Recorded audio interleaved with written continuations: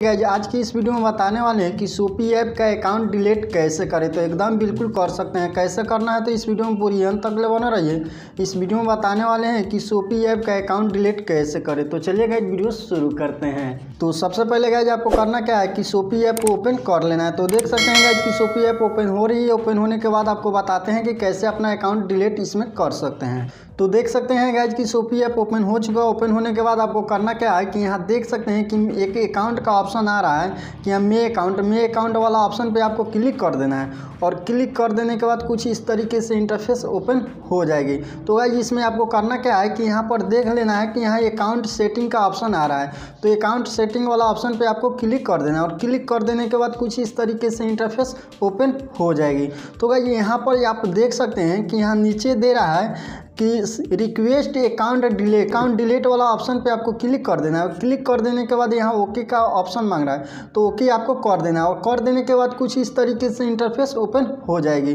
तो गाइज़ यहाँ प्रोसीड वाला जो ऑप्शन है, इस पर आपको क्लिक कर देना है। और क्लिक कर देने के बाद कुछ इस तरीके से इंटरफेस ओपन हो जाएगी।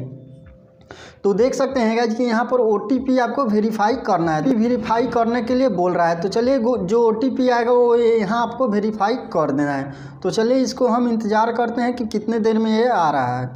तो देख सकते हैं गाइज़ कि यहाँ पर ओटीपी आ गया। ओटीपी आने के बाद यहाँ पर हम वेरीफाई कर देते हैं। और यहाँ OTP डाल दीजिए और यहाँ नेक्स्ट वाला जो ऑप्शन है, यहाँ पर क्लिक कर दीजिएगा। यहाँ पर काफ़ी देर के बाद एसएमएस जो आया ओटीपी आ रहा है तो आप लोग यहाँ पर थोड़ा टाइम देकर ओटीपी अपना मंगा लीजिएगा और मंगा लेने के बाद जी यहाँ पर दे रहा है कि प्लीज़ सिलेक्ट रीजन यानी कि आपको यहाँ सिलेक्ट रीजन करना है कि क्यों आप डिलीट करना चाहते हैं। तो चलिए यहाँ पर हम रीजन कोई भी रीजन यहाँ से सिलेक्ट कर लेते हैं। और सिलेक्ट कर लेने के बाद यहाँ पर हम कुछ भी यहाँ पर लिख दीजिएगा।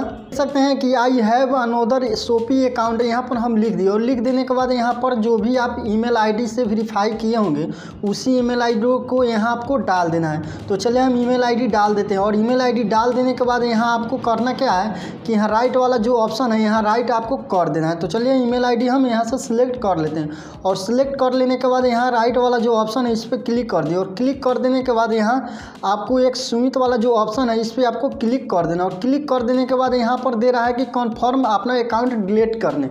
तो यहाँ पर कन्फर्म पर जब क्लिक करेंगे तो यहाँ से मेरा अकाउंट डिलीट हो जाएगा।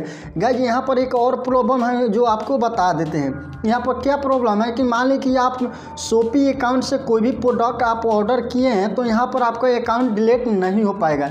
अगर ऑर्डर नहीं है तो यहाँ से आसानी से आप अभी यहाँ से अपना अकाउंट को डिलीट कर पाएँगे, नहीं तो नहीं कर पाएँगे। तो चले चलेगा कन्फर्म वाला जो ऑप्शन है, इस पर हम क्लिक करते हैं और क्लिक कर देने के बाद यहाँ पर देख सकते हैं कि ओके का ऑप्शन मांग रहा है कि योर अकाउंट हैव डिलीट यानी कि आपका अकाउंट जो है डिलीट हो जाएगा। तो देख सकते हैं गाइज़ कि मेरा अकाउंट जो है डिलीट हो चुका है। तो इस तरीके से गाइज़ आप लोग जो है अपना अकाउंट शोपी अकाउंट डिलीट कर सकते हैं। तो चले गाइज़ मेरा वीडियो कैसा लगा कमेंट में ज़रूर बताइएगा। आज के लिए इतना ही, फिर मिलेंगे अगले वीडियो में। तब तक के लिए जय हिंद।